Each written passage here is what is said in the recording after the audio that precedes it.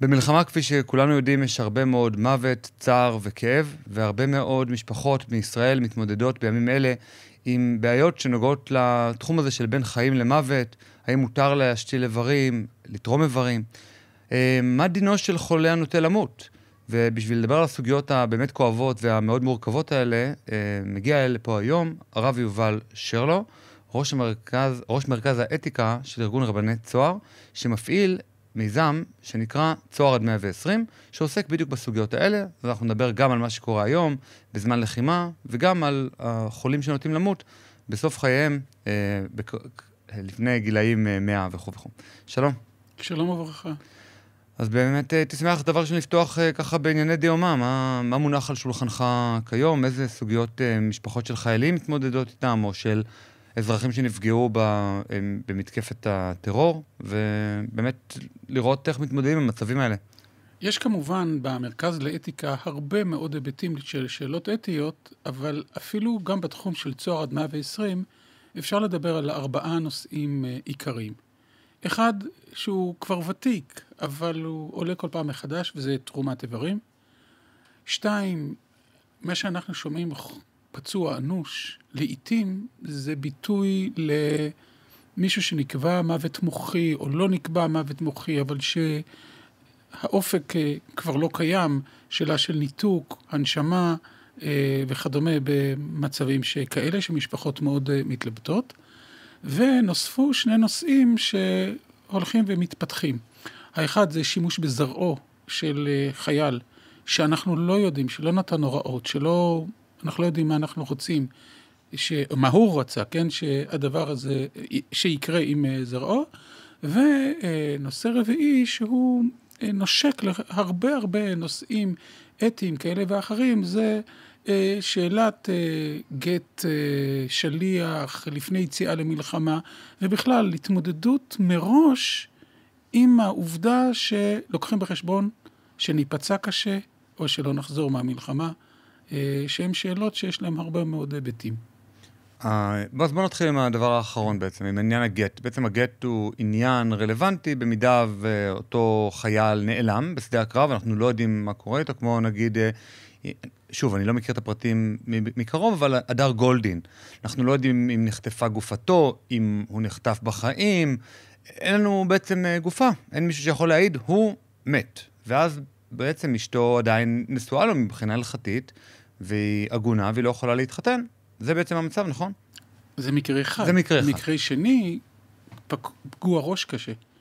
שהוא כאן, שהוא נמצא כאן, אבל שהוא בקומה או איננו יכול אה, לתת גט או אה, דברים מעין אלה, כלומר, אלה הם שני המצבים שמלחמה יכולה לחולל, ומעלות הרבה מאוד שאלות שיש להן גם היבטים אתיים. כלומר, יש כאן שאלה הלכתית, כן, לא וכדומה, אבל דווקא במקרה הזה היא יותר קלה, כי יש לנו תקדים מימי דוד המלך, לפי המסורת של התורה שבעל פה, שאומרת שכל היוצא למלחמת בית דוד, כותב גט כריתות לאשתו. ודווקא ההיבט ההלכתי הוא יותר פשוט. ההיבט המסובך יותר הוא מבחינה אתית, אה, הן כלפי מחויבות כלפי אנשים, שלא תישארנה אה, תקועות ועגונות. מצד שני, יש הטוענים שזה מאוד אה, מחליש את כוח הלחימה. ואז זו כבר שאלה אתית, את מה אתה רואה מול העיניים. כלומר, שאדם הולך לקרב על דעת זה שהוא כבר גרוש, או כבר נהרג. כבר החתמת אותו, כן. החתמת אותו על, על מה יקרה לאחר מכן. אני רוצה לומר שעמדתי האישית היא שאני לא מסכים עם ההנחה הזאת. אבל אני חושב שאנחנו השתננו, ודווקא בגלל שבצוהר עד 120 אנחנו עוסקים הרבה מאוד בהוראות מקדימות בכלל, והמצב הזה כיום, שבן אדם מתכוננים למותם, נותנים הוראות, מתכוננים לשקיעתם הדמנטית, עושים ייפוי כוח מתמשך, כלומר, אנחנו מביטים נכוחה אל המציאות, היא גם uh, מאפשרת לחיילים לא רק להיחלש מכך, אלא להפך, להתחזק, שהם ידעו שאם חס וחלילה יקרה משהו כזה, נשותיהם האהובות לא תיתקענה. זאת אומרת, אתה אומר מראש, זה לא מחליש את רוח הלחימה. שוב, זה... שוב, במציאות, אם אני אשאל אה, חייל, תגיד, אה, כשנתת אה, גט על תנאי לאשתך, לפני שיצאת ללחימה, האם הדבר הזה גרם לך להרגיש שאתה כבר עם רגל בקבר, אז המציאות תגיד שלא, שהוא אומר, אז מה לכן פתאום? עמדתי היא שאני לא צריך להיות סקר דעת קהל, טענתי היא שצריך להנגיש את האפשרות. לא לעודד, לא לחייב בוודאי, ולא לאסור מצד שני, ולא לחסום את הדרך, אלא צריך להנגיש. להנגיש זה מין מילה כזאת אמיתית באמצע, שמאפשרת הסכמה מדעת, שהחייל יודע את אשר לפניו, הוא וזוגתו, ושהוא יחליט, לא אנחנו במקומו. אוקיי, ואיזה עוד סוגיות? יש לנו, יש לנו את ה... אה, בעצם הפריה מהזרע של אותו חייל. אה, מה, איך זה הולך? אמורים לתת כאן יש- מראש, או אז גם כאן יש... אחרי הפגיעה? שלושים- גם כאן יש שני אה, מצבים. המצב היום זה הוא שאין, אה, כמעט ואין הוראות כאלה. כמעט ולא ניתן, ניתן לעשות אה, דברים כאלה. הם בדרך כלל ההחלטות מתקבלות בשעות המעטות שאחרי נפילתו של החייל, וזה יוצר בעיות אין ספור. מי מקבל את ההחלטה? קודם כל בכלל, האם לשמר? יש חוסר שוויון בין יחידות שונות, בין רופאים של יחידות שונות, במקומות אה, שונים. אה, יש אה, בלגן שלם בתחום הזה. זה קודם כל למה בכלל הזכרת את המילה לשמר. חוסר שוויון? כאילו, כי מה... נניח שבשייטת כן, אבל בגולני לא עושים את זה. כן? למשל. הבה נניח, אני לא, אני, אני אוקיי. לא, זה, אני גם מכיר, אני לא רוצה לנקוט ביחידות שאני מכיר יותר ופחות, אבל אני אתן את זה. כדוגמה, בדיוק. ביחידה X הרופא מאוד תומך בזה, ולכן אם מגיע לפ... לו גופת חלל שעדיין ניתן לשמר זרע, הוא שואב זרע, אין הרבה שעות שזה ניתן לעשות, וביחידה אחרת הרופא או מתנגד, או לא מכיר, או לא רוצה להכניס את הראש לעניין הזה, ולכן המצב היום הוא מצב לא, מוס... לא מוסדר. אני מדבר כאשר אנחנו לא יודעים מה רצון החייל. כמובן עולות לאחר מכן שאלות רבות אחרות, והיא אוקיי, והן, יש זרע מוקפא, מי, מי הבעלים שלו, מי מקבל את ההחלטות? והאם אנחנו לוקחים בחשבון את טובת הילד שייוולד, את אה, האם יש להבחין בין רווק לבין מישהו שהוא נשוי, ועוד כהנה וכהנה, זה, זו מעטפת אחת אד הוק. השאלה שמדינת ישראל כנראה תתמודד איתה בגדול היא האם, בדיוק כמו שהזכרנו מקודם על הגט, האם להנגיש את האפשרות הזאת לכלל חיילי צה"ל הנשואים, הלא נשואים, הרווקים, בנות זוג קבועות, באיזה תנאים, מי יממן את זה? זה בערך עולה כ-5,000 שקל לשמר אה, אה, ולהקפיא וכדומה. מי יממן את זה? האם אנחנו תומכים? זה שאלות ענקיות שאני מעריך שהחברה הישראלית אה, תצטרך להכריע כמערכת הרבה יותר גדולה, כמו שהכריעה בנושאים דומים אחרים, פונדקאות, אה, למשל, ולהגיע להסדרה היותר נכונה של הדבר הזה, כד... כי זה מאוד רגיש, מאוד עדין ומאוד מיוחד. אבל בכל זאת, אה, אתה פה... מה עמדתי? אה, לא, אתה אוטוריטה, אה, אוקיי. ואני גם אגיד איזה מין הקדמה קצרה, בחוברת הזאת, שקיבלתי לעיון לפני הראיון, שנקראת צוהר עד 120 אה, הלכות חולה הנוטה למות ואדם עם דמנציה, שאתה גם חתום עליה, בעצם מוצגת האמירה המאוד נכונה, אנשים במצבים כאלה של בין חיים למוות, אני מדבר גם על המשפחה וגם על אותו אדם שנוטה בין חיים למוות, נהיים מאוד מוכווני או מאוד מפוקסים על הלכה, על בן אדם למקום. זה גם המשפחות היותר חילוניות, בסופו של דבר במצבים האלה אומרים, אוקיי, בוא נשאל רב, ולא בוא נשאל את המדינה. והייתי שמח לשמוע באמת את עמדתך לגבי, נגיד, הסוגיה הזאת של אה, הקפאה, הסוגיה של מי הבעלים של אותו דבר, האם יש בכלל אה, פסיקה הלכתית לגבי הדברים האלה? אז אני אחלק באמת בין שני המצבים. ביחס למצב הראשון שבו אה, נהרג, נפטר, אגב זה כל אדם, אבל אנחנו מדברים כרגע, ביקשת להתחיל עם האקטואליה, זה מאוד מאוד אקטואלי עכשיו. כאשר נהרג חייל, עמדתי היא עמדת ביניים אבל מינימליסטית. כלומר, לדעתי, הגורם היחיד שיכול להחליט מה יעשה עם הזרע המוקפא הוא בת הזוג. בשל העובדה שזה חלק מהברית שלהם ביחד, לא רק ברית של לא טוב היות אדם לבדו, לא רק דבק ואשתו, אלא גם והיו לבשר אחד, כלומר לילדים. לדעתי, ואני כתבתי את זה כבר לפני שנים רבות, וגם באתר שלנו של צוהר לאתיקה, להורים, סבא וסבתא אה, וכדומה, לכל מיני גורמים אחרים מאוד כואבים ומאוד קרובים, הם לא יכולים להפוך אדם לאבא בעל כורחו, גם לא אחרי מותו. הם לא הבעלים על הזרע ואי אפשר, אי אפשר לעשות אה, כזה דבר. יש לזה גם כמובן הרבה מאוד השלכות והרבה מאוד תוצאות. זה ביחס לשאלה הממוקדת הפרטית. דעתי ביחס לעניין הלאומי, שתשועה ברוב יועץ, כלומר צריך להתכנס. אה, אין לי עמדה מאוד חדה, כמו בנקודה הזאת, האם כן, האם לא, אני, בגדול, עמדתי תמיד היא תנגיש. כלומר, אני לא חושב שהמדינה צריכה לעודד, אני לא חושב שהמדינה צריכה אה, לתכנן או דברים שכאלה, אבל היא צריכה להנגיש ולקבל את ההחלטות. נתתי לחייל הנשוי עם בת זוג קבועה את המידע, את האפשרות, הוא יחליט. אני לא מעודד, לא הופך את זה לנוהל קבוע, אבל גם לא חוסם ולא בולם. ומי יממן, אז אה, זאת גם שאלה של מדיניות ציבורית. נכון, זו שאלה, לא שאלה של מדיניות, זו גם שאלה שקשורה בשאלה כמה יהיו כאלה ועוד כהנה וכהנה. זה צריך לזכור שבדרך כלל מדובר על חיילים נשואים או עם בת זוג קבועה, שאין להם בכלל ילדים. כלומר, מדובר על קבוצה די אה, תחומה. אז בעצם הייתה לנו את הסוגיה של, אה, את הסוגיה של הגט, בעצם אני צריך לתת גט מראש ולצאת למלחמה בידיעה שלא יישארו עגונות אה, ולא יסבכו רבנים עם פסיקות אה, מאוד מאוד קשות, כמו נגיד הרב עובדיה במלחמת יום הכיפורים, זה היה הדבר כן, שהוא... כן, אבל אני אומר, השאלה באמת היותר גדולה היא לא העגונות. יכול להיות שאחרי האירוע עכשיו, אבל זה לא קשור לצבא, זה קשור למסיבה ולכמות הנעדרים, אבל זה לא זאת הנקודה. זו מציאות איומה ונוראה שאתה לא יודע אנשים, אתה לא יודע מה קרה להם. אבל המציאות השכיחה במלחמה היא פגיעות ראש או מצבים שכאלה, שלא ניתן לתת גט והאדם בחיים. אני לא רוצה להזכיר אה, פרשיות מן העבר, הייתי מעורב בהם בצורה מאוד אינטנסיבית, וזה היה קורע לב אה, להתמודד עם זה. אז בעצם אתה אולי רומז שהגט מראש רלוונטי לכל אחד מאיתנו, גם מי שלא בלחימה. יכול אולי לפתור את הבעיה דרך זה? אז פה, אה, א', כן, אני לא חושב ש... אני לא תומך ברעיון של גט על תנאי, אני תומך יותר ברעיון של מינוי שליח.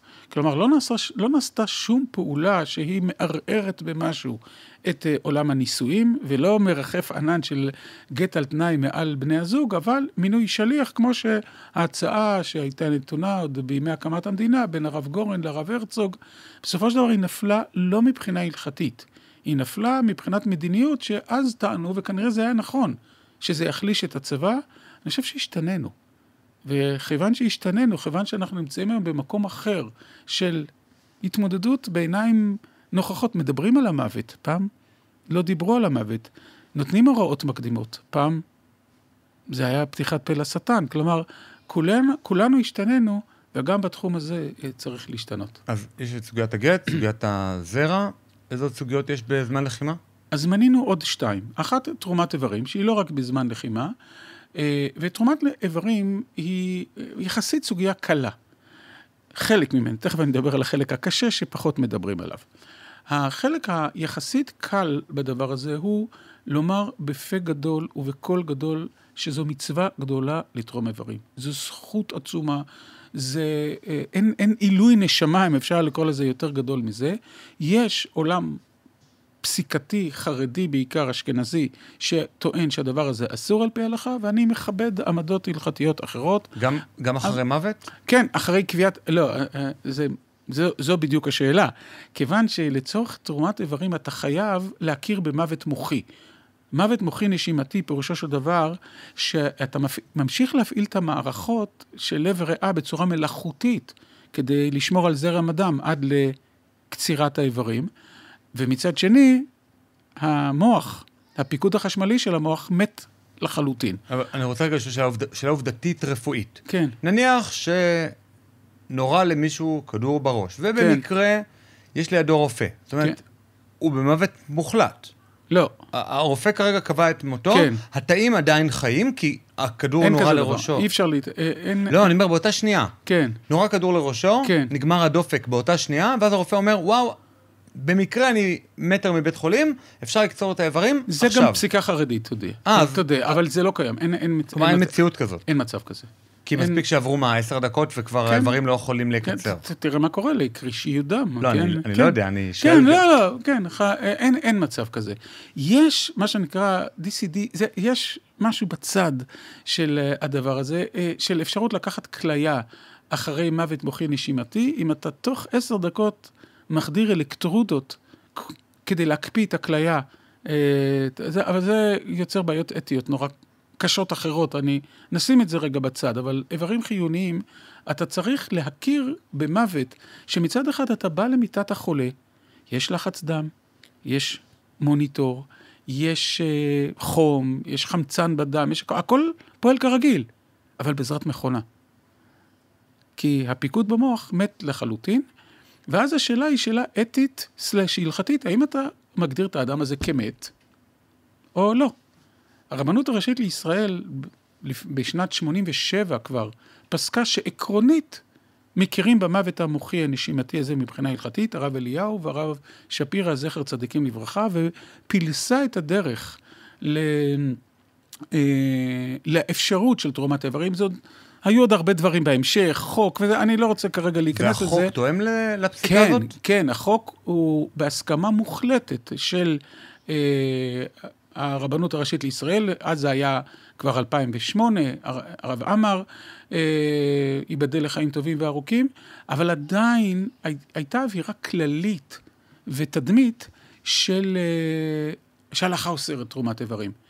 ורק אה, בשנים האחרונות, ביוזמה משותפת של מרכז ההשתלות בישראל, הרב לאו, הבן, כלומר הרב הראשי הנוכחי, רבנים נוספים וצוהר לאתיקה, שהשקיע בזה הרבה מאוד מאמץ, נוצר קול גדול בעולם הרבני של זכות עצומה, בטח שמותר, אבל אפילו יותר מזה, זכות עצומה לתרום איברים, ובגדול, אחוז המשפחות המסכימות היום לתרומת איברים הוא בערך שני שליש במדינת ישראל. אני לא מדבר על כרטיס אדי, כרטיס אדי זה אולי 20 אחוזים, אפילו פחות, אני לא בטוח במספרים.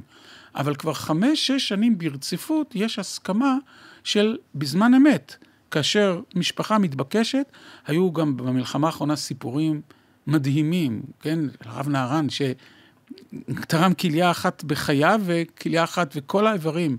ואלמנתו פנתה לכולם אחרי מותו כדי שיתפללו על כך שההשתלות תצלחנה. כלומר, היו באמת אירועים מאוד מאוד אה, נוגעי לב,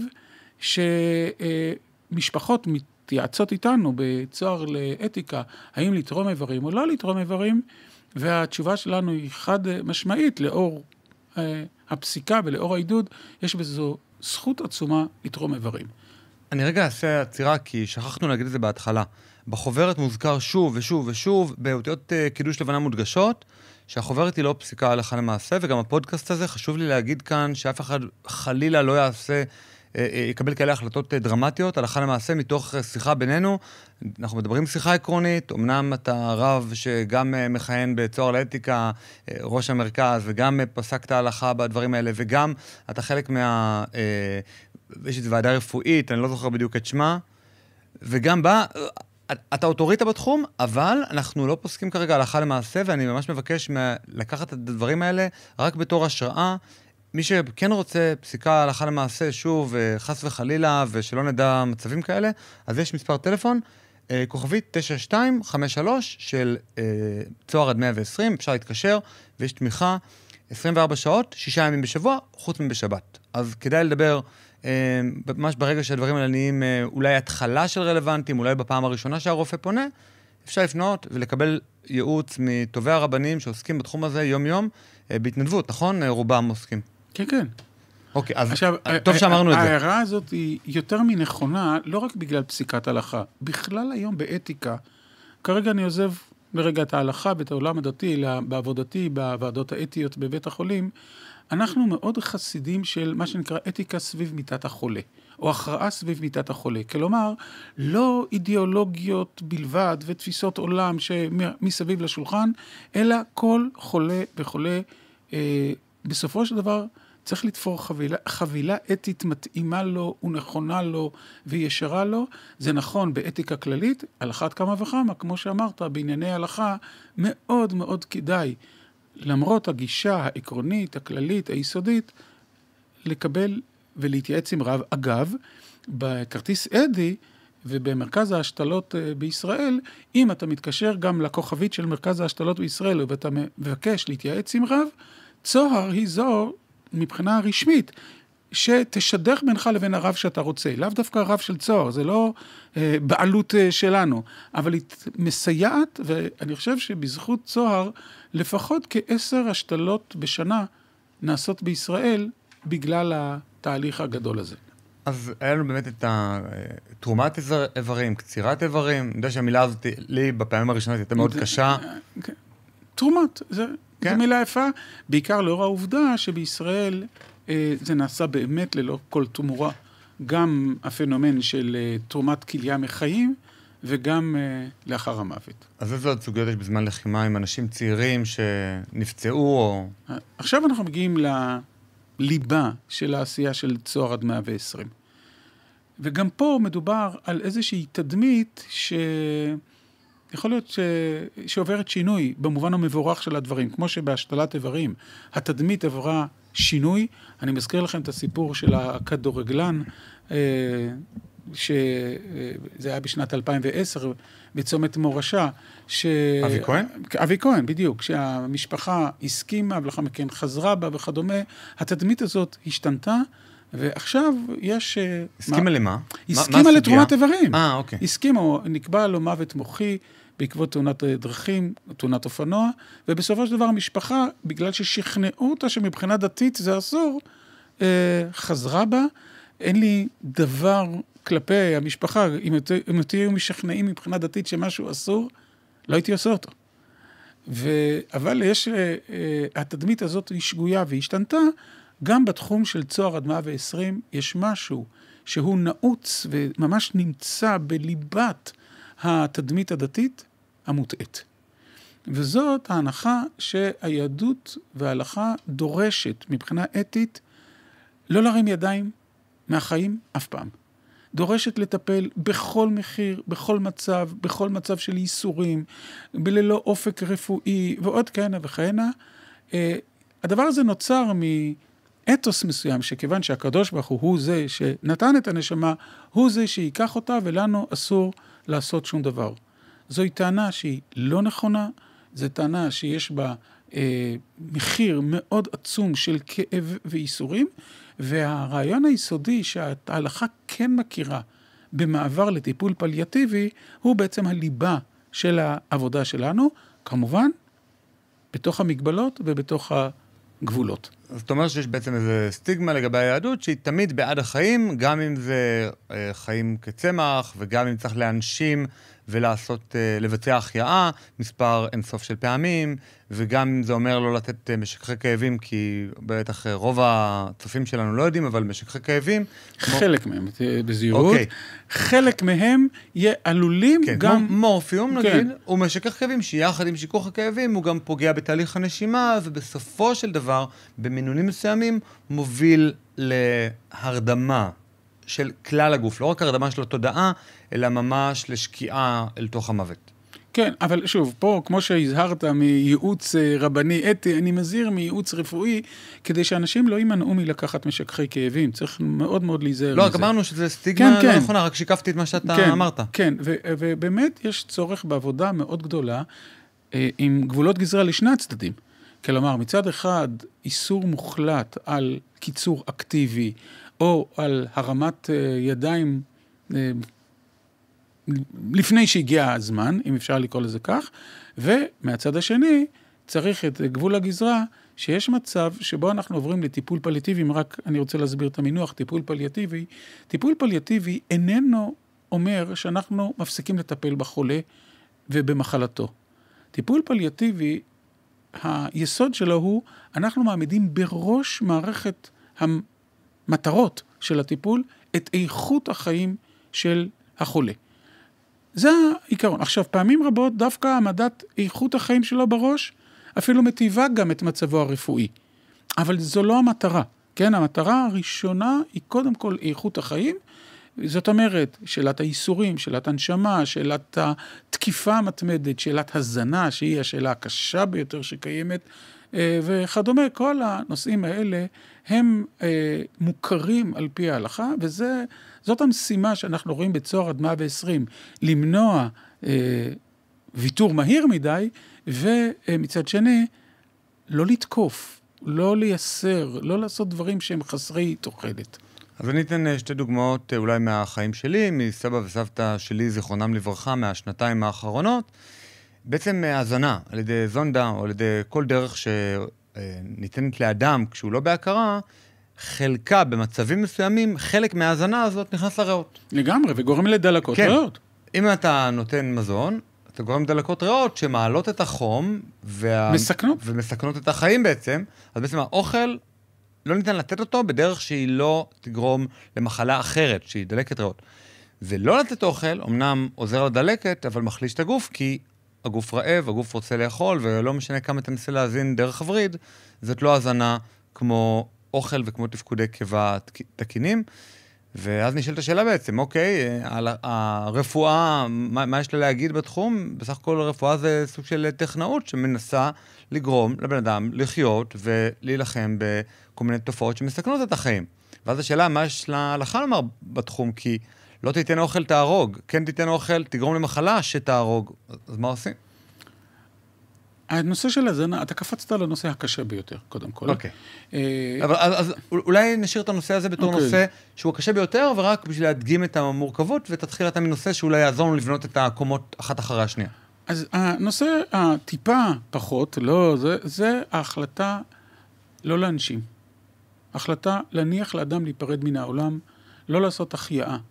Mm. זאת החלטה שהיא בשב ואל תעשה, כן? כלומר, היא אמירה, את זה אנחנו לא נעשה, אה, במצבים אה, שבהם ההנשמה וההחייאה, אין להם תוחלת, אין להם, אין להם לאן ללכת, אה, הן לא מרפאות שום דבר וכדומה. אני חושב שהציבור לא יודע, אבל הנשמה כמובן תלויה בשאלה איך נכנסת להנשמה מסיבות אחרות חוץ משאלת ההנשמה, אבל סיכויי היגמלות מהנשמה של אדם שנכנס להנשמה במצב קשה, הם בערך פחות מאחוז. עוד פעם, פחות מאחוז אחד. כלומר, צריך להכיר קודם כל את הנתונים. והדבר וה, הזה הוא אה, נמצא ב, לנגד עיני פוסק ההלכה או איש האתיקה, שבא ואומר, אתה הולך לעשות פה תהליך מאוד מאוד דרמטי, פעמים רבות מאוד מייסר, מאוד uh, כואב, ללא שום אופק, ללא שום תכלית, וגם אדם סובל, ולמה? למה? מי, מי נתן לך את הרשות בכלל לעשות את זה? במחקרים שנעשו, אנחנו רואים uh, תופעה, uh, והרבה פעמים כשאני מדבר עם משפחות, אני שואל אותם למה, והמשפחה אומרת, באופן טבעי, אנחנו רוצים לדעת שעשינו הכל למען אבא, שלא אנחנו קיבלנו את ההחלטה אה, לא להנשים. אולי יש את האחוז, ואז אני אומר אולי להם, יש את האחוז שהוא יתעורר, לא? לא, לא, לא, לא. אה, אה, ואז אני שואל אותם, תשימו לב, לא, אה, לא בשפה גסה, אני מדבר כרגע, עכשיו אני מדבר מת, אלגוריתמית. זאת אומרת, בעצם אתם דואגים לעצמכם, לא לאבא. כלומר, בעצם אתם רוצים להרגיש שאתם עשיתם כל דבר, ואני מבקש מהם לרגע להסתכל בראי ולשאול אם אתם הייתם במצב הזה, מה הייתם רוצים שיעשה בכם? והתשובה של מאה אחוז שלהם, תניחו לנו. ואז אני שואל, אז למה? זאת אומרת, יש פה שאלות מאוד מאוד קשות, קודם כל במישור האישי הנפשי, ואז כמובן צריך לשאול גם במישור ההלכתי. גם במישור ההלכתי אנחנו מכירים בשולחן ערוך את ההבחנה שבין עשייה אקטיבית לקיצור חיים, שהיא אסורה לחלוטין, ואפילו גם המסביב שלה, לבין עשייה, פס... הפסקה פסיבית שלעיתים היא אסורה, כן? כלומר, לא שאסור להפסיק, להפך, אסור להתערב במצבים מסוימים, ובצוהר עד 120 אנחנו ביחד עם הצוות הרפואי, ביחד עם המשפחה וביחד עם חכמי ההלכה ועוד גורם שמיד אני אזכיר, אה, מגבשים מדיניות משותפת. אני יכול לומר, עד היום, ואני מקווה שזה לפחות עד אה, פרסום הפודקאסט הזה, אני חושב שצוהר יכולה לומר שבמאה אחוז מהמקרים, עד היום, צוהר עד 120, קיבלה תודה מהמשפחה ומהצוות הרפואי. כלומר, אני לא זוכר מקרה אחד, למרות שאני לא ישן בלילה, על הרבה מאוד מהמקרים שבהם אנחנו אומרים לא לעשות משהו כן לעשות משהו, מציעים, כי אנחנו לא מקבלים את ההחלטה, באמת 100% מהמקרים. עכשיו, תרשה לי רק להוסיף גורם רביעי. אנחנו למדנו מניסיוננו שיש חשיבות עליונה שההחלטה תתקבל על ידי המשפחה כולה. אם אנחנו לא יודעים את רצון החולה. מדוע? כי אחרי 120 שנה המשפחה נקרעת. חלק מהמשפחה אומר, ויתרנו מוקדם מדי על אבא, היינו צריכים להתעקש. חלק אומרים, סתם עינינו אותו, סתם לא נתנו לו להיפרד מן העולם, דאגנו לעצמנו ולא, לא, ויש קרע מאוד גדול, ותמיד יש חוזר בתשובה אחד, ואיזה אחות מאמריקה שפתאום הגיעה ולא הייתה מעורבת, ועוד דברים מעין אלה. לכן, אחד הסטארט-אפים המאוד משמעותיים של צוהר לאתיקה, זו ההכרעה שלנו, שעם המשפחה נפגש צוות של רב מומחה בתחום ועובדת סוציאלית. וביחד בונים מערכת משפחתית כדי שהנזק הגדול לא יהיה אחרי 120.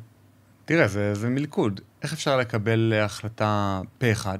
כי אתה אומר, אנחנו, יש לנו מטרה להגיע לפה אחד, ואנחנו יודעים, בהרבה מערכות של פה אחד, אז מי שיש לו, שוב, אני מדבר איתך תורת משחקים, כן, כן. אז מי שיש לו הכי הרבה כוח זה המיעוט, שעושה וטו, אומר, לא, אני לא מוכן, אני עדיין לא כן, בשל. אבל זה, זה, לא בינה, זה לא בינארי. למשל, אני אתן לך שתי, אה, לגבי תורת המשחקים הזאת, שתי, אה, אה, שתי טקטיקות מאוד פשוטות. אחת, אז בואו ננסה עוד פעם אחת, אבל בואו נסכים שמנסים עוד פעם אחת, ואחרי הפעם האחת הזאת מפסיקים. יש לזה מחיר לשני הצדדים, כי אלה מסכימים רק פעם אחת, ואלה מסכימים לפעם אחת עוד פעם לעשות הנשמה, אבל עשינו משהו שכנראה הוא הדבר הטוב ביותר לטובת החולה. למשל, זו דוגמה אחת. הדוגמה השנייה היא אה, בשיח משותף, האמת היא שלמדנו גם מניסיוננו, שברגע שקולם של כולם נשמע, אתה כבר נמצא במקום אחר. כלומר, יש חשיבות לכל אחד לפני ההכרעה שהקול שלי יישמע, שהצד השני, האח השני, יקשיב לו, לא יבטל את דבריו. להפוך קונפליקט לדילמה. וברגע שאתה הופך קונפליקט לדילמה, אתה נמצא במקום אחר. בחלק גדול מהמקרים זה הולך, ובחלק, כמו שאמרת, אה, אין ברירה, אבל צריך להשקיע בזה וכדאי להשקיע בזה מאמץ, כי זה גם לטובת החולה, זה גם לטובת הצוות הרפואי, וזה גם לטובת המשפחה כולה. כולם מרוויחים מהדבר הזה. אז באמת אה, זאת הייתה השאלה הבאה, כי הזכרת את זה לפני כמה דקות. מה בכלל האינטרס של הצוות הרפואי, שאתם תהיו שם, שאתם לא תהיו שם? אמרת שב-100% מהמקרים קיבלתם אה, תודה של הצוות הרפואי. מה, מה האינטרס שלהם? הצוות הרפואי נמצא בדילמה בפני עצמה. מדוע? משהו השתנה, עקרוני, בתחום האתיקה הרפואית. אם היינו באים לפני 30-40 שנה עם uh, חולה סוכרתית שחייבים לכרות לה את הרגל כדי להציל את חייה, אף אחד לא היה שואל אותה. אף אחד לא היה שואל אותה. הצוות הרפואי היה כורת את הרגל ומציל את חייה. כי הייתה היררכיה מאוד ברורה של uh, אתיקה רפואית. אחד, זה מלטינית, אל תגרום נזק. שתיים, קדושת החיים. שלוש, עצמאות החולה. בשלושים השנים האחרונות, משתי סיבות, האוטונומיה של החולה, של המטופל, הפכה להיות הערך העליון ולפעמים היחיד. ולפעמים היחיד. והצוות לא רוצה לעשות דברים נגד המטופל, רק הוא לא יודע את רצונו. וזה לא רק בגלל אתיקה, זה בגלל עוד סיבה, שפחות מדברים עליה, אבל צריך לשים אותה על השולחן, זה גם ניהול הסיכונים של בית החולים. בית החולים מעדיף להעביר למשפחות את ההחלטה, כי אם הוא יחליט, אז הוא מזמין לעצמו תביעה משפטית. המשפחה החליטה, אז סיפור אחר, נתנו להם את כל הנתונים והם החליטו.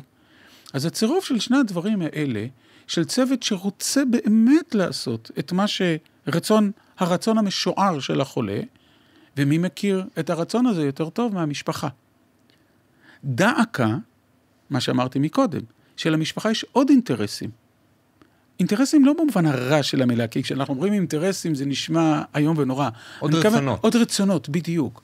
רצון גם, כפי שאמרתי מקודם, שהם ידעו שהם עשו את הכל. אז זה נושא נור, מאוד מאוד מורכב. ועוד דבר שאנשים לא יודעים, למשפחה אין שום מעמד חוקי. שום הנה, אתה עונה על השאלה הבאה. כן. בעצם למי הסמכות? הרי...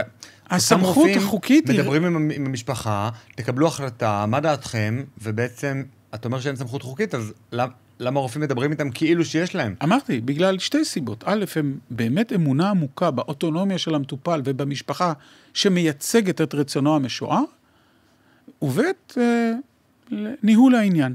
ולכן מאוד מאוד שמחים שאנחנו מתו...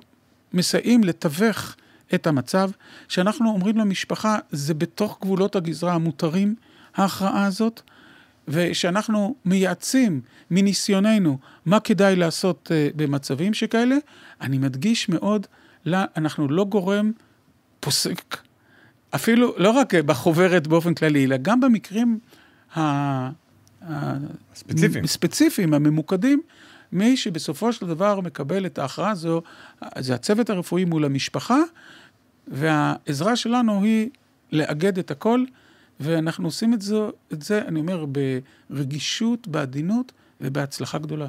אולי גם באמת זה שיש לכם זמן ואתם שם בשביל זה. אני זוכר כשרופאים יצאו אה, להסביר לנו את המצב, בכל המצבים שבהם הייתי בפנימית אה, ג' כזאת או אחרת, תמיד, אוקיי, הם, הם היו סבלניים, הם היו אנשי שירות מדהימים, אבל בסוף הם היו צריכים לחזור למחלקה ולהמשיך את העבודה. נכון. אז עם כל העדינות והסבלנות, אז היה להם במקרה הטוב 20 דקות, חצי שעה, אבל יש עוד מטופלים שצריכים את העזרה ואת הטיפול, ואולי לכם יש uh, בעצם את כל הזמן לתהליך המשפחתי הזה. בעצם uh, לשקף את הרצון של אח אחד, להסביר אותה לאח השני, uh, להראות לו שהוא נשמע. אז בואו נמשיך באמת עם אולי עוד סוגיות. יש את הסוגיה הזו באמת של האם להנשים, או במילים אחרות, בוא תקן אותי אם אני טועה, האם לבצע החייאה או שהאם להנשים? זה שתי שאלות אה, מאוד אה, קרובות אחת לשנייה, אבל הן לא תמיד אותו הדבר. לא, לא ניכנס כרגע אוקיי. להב, להבחנה. אז זאת שאלה אחת. כן. יש את השאלה של אה, להאכיל מול אה, דלקת ריאות, זה אמרנו נשאיר כן, לסוף. אבל זאת, זאת, זאת, זאת באמת השאלה המסובכת יותר. אה, אולי לא לסוף, כי אה, קרה משהו לצוהר עד 120, והוא גם פלש לתחום אה, נוסף. אז אה, מיד אני אה, אגיע אליו, אז בואו נסגור את נושא ההאזנה דווקא. אה, אוקיי. אז כפי שאמרתי, הזנה זו השאלה הקשה ביותר, כי אנחנו בערפל משולש. א', אנחנו בערפל רפואי. האם, מה יקרה אם לא נזין? ומה יקרה אם כן נזין? והרבה פעמים אה, הרופאים חלוקים, אבל יותר ויותר אנחנו יודעים היום שהזנה היא לא הכרחית, והיא גם הרבה פעמים מזיקה. אני, חלק מ... אה, היינו קבוצת חוקרים שכתבה נייר שהתקבל לכתב העת היוקרתי, Nutrition, ב- במי שקורא אנגלית, אני מוכן אה, כמובן להפנות אותו לשם, ושם באמת אה, התבקשנו לכתוב את, מה, את העמדה הישראלית על הזנה בדמנציה, בעיקר אה, במצבים לקראת מאוד מאוד סוף החיים. העמדה האתית הישראלית? קודם כל, אמרתי, כן, אמרתי, קודם כל העמדה, אמרתי, קודם כל אנחנו בערפל רפואי. זה אחד. שתיים, אנחנו בערפל אה, הלכתי. ומדוע? בעבר הפוסקים כתבו באופן חד משמעי, הזנה חייבים. חייבים בלי שום ערעור ופקפוק כלל.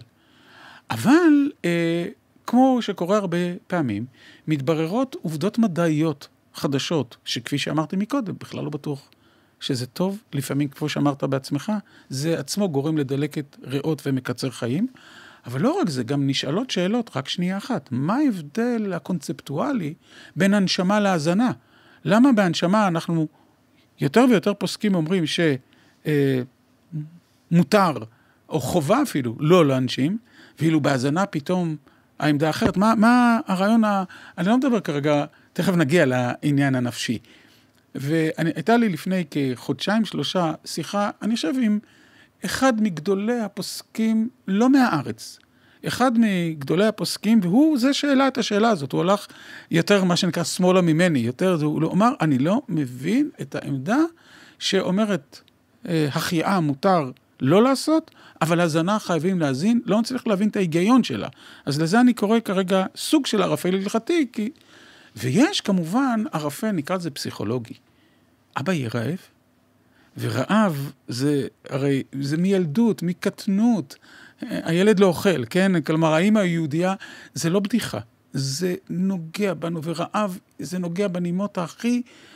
הייתי אומר יותר מזה, אנחנו גם לא יודעים אם האדם הדמנטי סובל רעב, הוא בכלל יודע לחוש רעב, לא...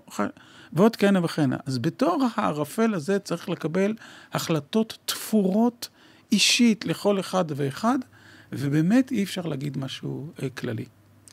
אז אנחנו מגיעים לסוגיית משככי הכאבים, כי גם שם, אה, מה שייך משכך כאבים? אם אין אה, אה, תחושת רעב, אז גם לא צריך אולי לתת משכך כאבים, כי מראש אותו אחד כבר במוות מוחי, כבר... לא, לא, לא, זה לא, הוא לא, לא, הוא לא במוות מוחי. אם הוא במוות מוחי נשימתי, ודאי ש... אז אין מה לדבר על משכך כאבים. אין מה לדבר על כלום. אין מה לדבר כלום. אה, אפשר להפסיק? אפשר לנתק את המכונה, לפי הפסיקה... לא לפי החוק, נכון? להפך. אה, גם לפי החוק מותר להוציא מהחשמל? החוק עושה בדיוק לכיוון ההפוך. החוק אומר, אנחנו, בעקבות פסיקת הרבנות הראשית, מכירים במוות מוחי נשימתי, אבל בסעיף 8ד כתוב שאם המשפחה, על פי הכרתה הדתית, אה, סוב, לא מכירה במוות המוחי נשימתי, בית החולים חייב להמשיך להנשים אותו. אבל זו ההחרגה, ההחרגה היא לכיוון ההפוך. עכשיו, בואו רגע משככי כאבים, רק לעשות סדר, שלא תצא תקלה. במשככי כאבים בדרך כלל לא מדובר על דמנציה. לא מדובר על מצב דמנטי, להפך, מדובר על אדם שהוא סובל מאוד והוא ער מאוד, לא ער, כן, הוא סובל מאוד והוא בהכרה, ואנחנו רואים את הסבל ודברים האלה, הוא מבקש משככי כאבים, שיש להם, או שעלול להיות להם, מחיר בקיצור אה, חיים. וכבר אה, באמת גדולי הפוסקים של הדור הקודם פסקו שמותר לקחת את משככי הכאבים האלה, אבל בשני תנאים. תנאי אחד זה במינון הכי מינימלי וייעודית לשיכוך הכאבים, ולא לעשות, אה, אה, איך לקרוא לזה, ישראבלוף, כן? ולהשתמש בזה כתכסיס ל... אני אתן, אני אתן דוגמה סתם, אנשים במרכאות כפולות רגילים, יש לנו איזה אדם במרכאות כפולות שומר תורה ומצוות, והוא אומר, טוב, אני בדרך כלל לוקח כדורי שינה בלילה, אבל עכשיו אני גם בא לי לסיים את החיים, אז אני אקח מינון יותר, כי כן. אני רוצה להירדם יותר מהר. בעצם הוא מתאבד. כן. אל תעבוד, בדיוק, אתה מתאבד. בדיוק, בדיוק. צריך לעשות באמת כדי אה, להרפות את הקווים וכדי שהת... ושהתוצאה לא תהיה מיידית. אולי התנאי הקודם לזה היא באמת, לפני ההחלטות המינוניות וכל זה, המגמה, ההתכווננות היא להקל על החיים ולא לקצר אותם. אוקיי, ואז מה? זאת אומרת, ואז... לוקחים את המינון המינימלי ו... ורק... לצור... ו... באמת לצורך. נכון, ואז אם זה לא מספיק, אז מגדילים את המינון, אבל כולו אוריינטד, כן? כולו מיועד באמת לשיכוך כאבים ולא לניסיון ללכת בדרך עקיפה לקיצור, אה, לקיצור חיים. ואז מה, איזה עוד סוגיות יש לנו בחולה במצב שכזה? אה, האם למשל... יש אינפוזיה, שזאת סוגיה? לא, נוז, נוזלים, שוב, אה, יש כאלה שטוענים, אותו גדול תורה הלך גם על נוזלים, לא רק על, על הזנה, אבל יש עוד שאלות, למשל, טיפולים הירואיים. האם אנחנו... הירואיים מלשון... הירואיים פירושו של דבר חיבור לדיאליזה, כן? שזה במצב של קרוב, של אדם קרוב למותו. אני אתן דוגמה קיצונית. אה, לפני שנים בבית חולים שניידר, הייתה אה, נערה בת 16 עם לוקימיה בימים האחרונים לחייה. ואנחנו בוועדה האתית עמדנו בלחץ מאוד כבד של ההורים שלה, להשתיל לה עכשיו לב מלאכותי. כן, כלומר במצבה הזה כדי, או אה, כדי אה, שהיא תשרוד עוד יומיים, כן, או, או משהו מעין זה. כלומר, יש... אה, לזה אני קורא טיפול הירואי, כמובן סופר הירואי. אלה הם שאלות שאנחנו בהחלט אה, אה, נתקלים בהן, וכמובן, כמובן, כמובן, לצד השני, אנשים שמסרבים לקבל טיפול. כלומר, מה, מה אין לנו מה לעשות, כלומר, מה המחויבות שלנו כלפי מי שבא ואומר, לא רוצה להיות קטוע רגל, לא רוצה. אני אמנם בן 60, אני יודע שצפויים להיות 30 שנות חיים בתחומים אחרים, איכות חיים בינונית פלוס, לא רוצה. מה תפקידו של הרב? מה תפקידו של הצוות? מה תפקידו... אנחנו לא יכולים. כאן חוקית לעשות שום דבר בלי הסכמתו. אבל השאלה היא... ואלה סוגיות ותיקות. כן, אומרת, כן, אלה לגמרי. סוגיות, אה, אה, האם אה, אה, חולה, נגיד במאה ה-13, לא רוצה לקבל טיפול שלדעת הרופאים של אותה תקופה כן. הוא כדאי, והוא אומר, אני לא רוצה, זאת אומרת, הוא לא דמנטי, הוא לא כלום. נכון, פשוט נכון, לא רוצה. אבל אז, אז ההחלטה הייתה הרבה יותר פשוטה. הוא חייב, חייב הלכתית. חייב הלכתית. למרות שגם זה לא ברור למה. גם זה לא ברור למה, אבל היה מקוב, מקובל בעולם שהוא חייב הלכתית, לא רק זה, אלא שיהיו פוסקי הלכה שאומרים שכופים עליו. עושים לו את הטיפול נגד uh, הסכמתו, נגד רצונו. עכשיו, אמרתי מקודם, שתוך כדי כך שמת לב כמה פעמים בדקות האחרונות הזכרנו את המילה דמנציה. ודמנציה זו כנראה, ה... אני לא רוצה לקרוא לזה מגפה, אבל האירוע הרפואי של המאה ה-21. אפשר לומר שזה האירוע הרפואי של המאה ה-21, שבצורה פרדוקסלית, דווקא בגלל הצלחת הרפואה. הרפואה הצליחה להאריך את החיים. לא רק זה, לשמר בן אדם בחיים, גם במצבים מאוד מאוד מעורערים. וזה גורם לפער בין יחסי גוף נפש. או, עד עכשיו או גוף דיברנו... מוח. כן, גוף אה, מוח, גוף נפש. עד עכשיו דיברנו על מצב שבו התודעה בסדר, נניח בתחום משככי כאבים, אבל הגוף בוגד. אבל מה שכמובן הרבה יותר נפוץ הוא שהגוף אה, בריא. אבל התודעה נעשית דמנטית יותר ויותר, היא כמובן גם משפיעה על הגוף, לח... אה, זה, ומצאנו את עצמנו עם אין ספור נושאים אתיים, רפואיים, הלכתיים, משפחתיים בדמנציה, מההתחלה של ההתחלה של טיפול, של כיבוד אב ואם ולקיחת הרישיון מאבא. אה, ו- ו- ו- כן, כלומר, משאלות כאלה. אה, זה, ועד השאלות ה... שלכל שאלות סוף החיים נוספת גם העובדה שהוא אה, דמנטי. באמצע יש אין ספור שאלות במצבי הביניים. אמת ושקר. האם מותר לשקר לחולה דמנטי? כי בכל זאת, שקר ואמת הוא חסר משמעות. או אני מוכרח לספר סיפור קוריוזי שקרה לא רחוק מהבית הזה, אוקיי? אה, מתקשרת אישה לא רחוק, שגרה לא רחוק מהבית הזה, מהמקום שאנחנו מקליטים, ומספרת את הסיפור הבא. אה, בעלה איבד כל רצון, כל מודעות בכלל לתפילין. ו... אה, והיא הפסיקה להניח לו תפילין. והעובד הזר תפס אותה היום בבוקר, ונזף בה, ואומר, אני הייתי קודם כל, לפני, לפניכם הייתי אצל משפחה אחרת, והם היו שמים את התפילין על היד ל-25 דקות ומורידים את זה, למה את מפרה את חוקי הדת שלכם, כן? כלומר, ה- ה- אבל זה כמובן קוריוז. גרסא דיאנקותא של כן, העובד כן, הזר. של העובד הזר, ממש ככה. אבל זה, זה באמת קוריוז.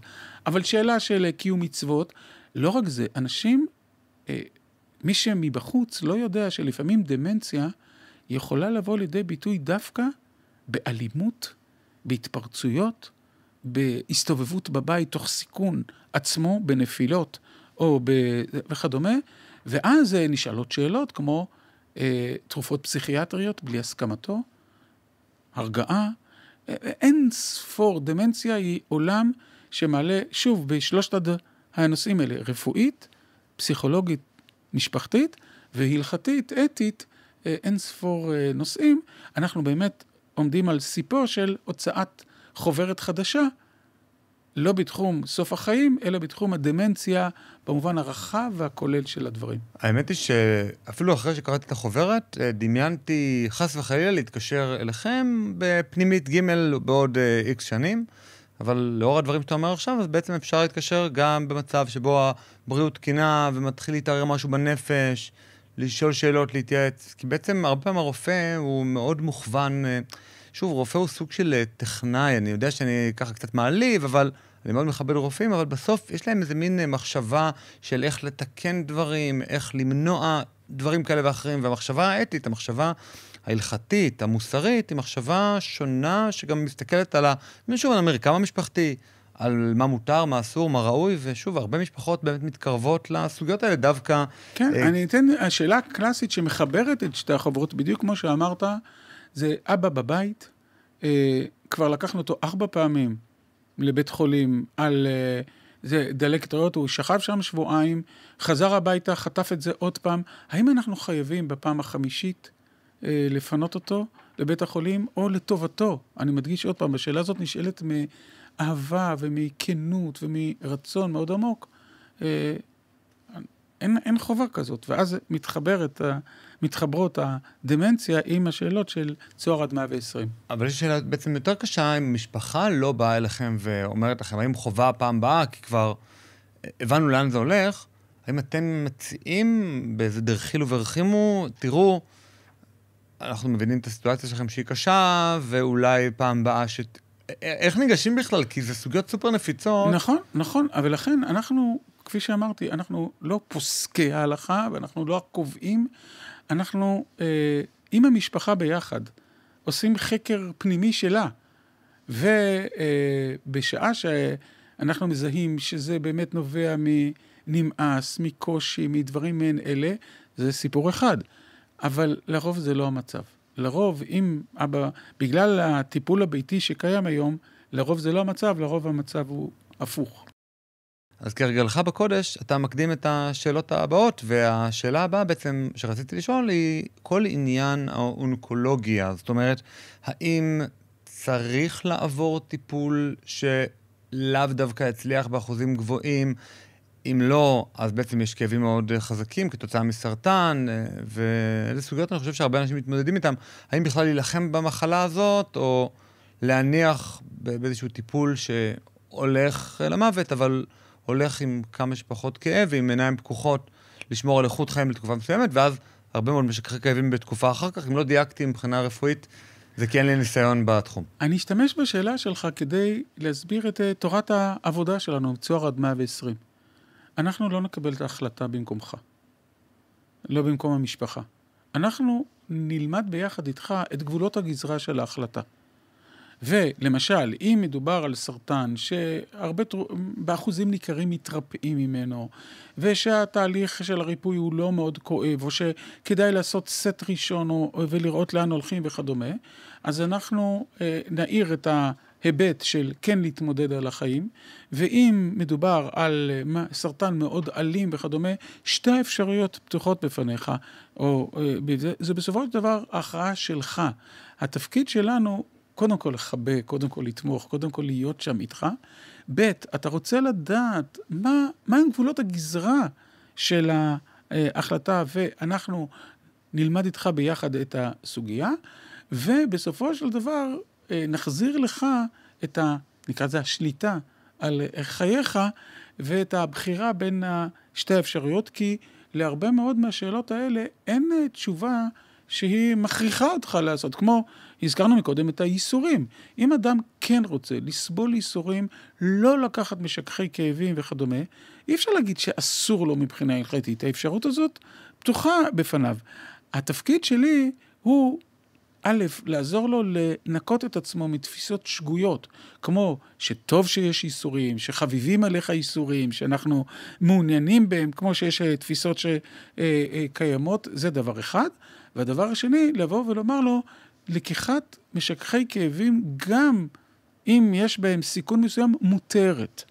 עכשיו, שתי הדרכים פתוחות בפניך, ובסופו של דבר אתה תהיה זה שתחליט מה אתה עושה.